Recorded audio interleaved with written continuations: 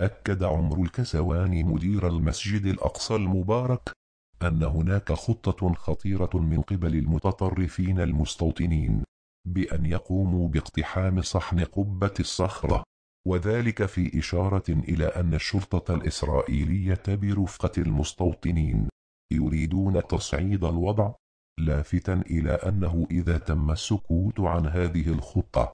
فربما تتمثل الخطوات المقبلة في الاقتحامات داخل قبة الصخرة والمسجد القبلي. وقال الكسواني في لقاء مع دنيا الوطن ننظر بعين الخطورة لهذا التصعيد من قبل الشرطة الإسرائيلية في ظل سكوت العالم العربي والإسلامي عما يحدث بالقدس بالإضافة إلى تلويح أمريكا باعتماد القدس عاصمة لدولة الاحتلال. وبالتالي كل هذه المجريات هي التي شجعت المتطرفين والشرطة الإسرائيلية على أن يفرضوا واقعا جديدا على المسجد الأقصى. وحمل الكسوان الشرطة والحكومة الإسرائيلية المسؤولية عن كل ردات الفعل على هذا التصعيد الخطير. معللا ذلك بأنه يوتر المنطقة والقدس والمسجد الأقصى المبارك وفي السياق ذاته. يمكن لهذا التصعيد أن يوتر المنطقة بأكملها نتيجة استمرار التهويد والحفريات وإقامة المستوطنات المحيطة بالمسجد الأقصى المبارك بالإضافة إلى جولات الاقتحامات بتشجيع من الشرطة الإسرائيلية.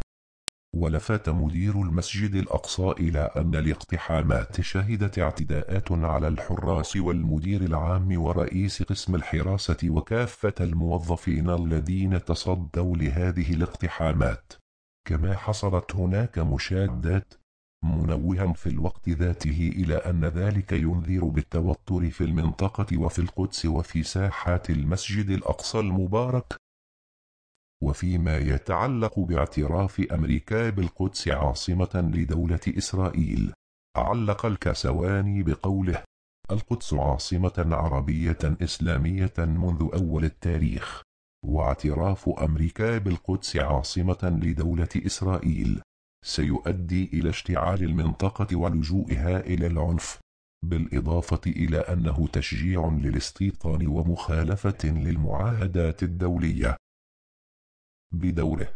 أشار الدكتور حنا عيسى الخبير في القانون الدولي إلى أن الوضع في القدس بعد اقتحامات المستوطنين لباحات المسجد الأقصى واعتلائهم صحن قبة الصخرة لا يحتمل وخاصة لما تقوم به إسرائيل من تهويدات حول المسجد الأقصى.